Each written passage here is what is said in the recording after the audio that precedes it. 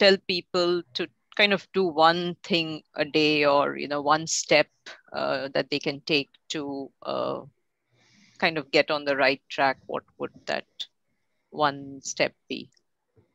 Well that one step would definitely be if um, you're having a shared family and uh, you have a tv ongoing through the day or uh, you know you watch tv news together then make an effort jointly as a family to decide only a couple of times a day that the news will run at home.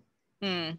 So, one of the feedback I get from not just my clients, but my immediate ecosystem is as well is that people keep the news on from the morning and it goes on till evening.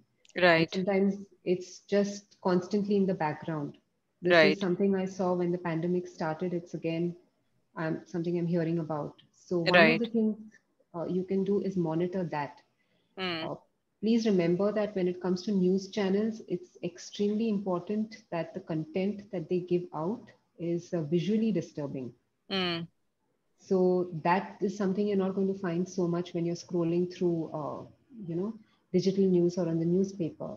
Right. But your brain tends to soak in and absorb images, and that impacts mood and sleep much more than other things right even even with children when we look at their uh, uh, when they look at how they are impacted by critical events they're usually impacted by the images they remember of those events typically mm. through consuming news in a right. secondary manner right. children as toddlers as young as one and two get impacted mm. so we have to be careful about uh, television and i'd say that's the first thing please section out the time that you spend on tv news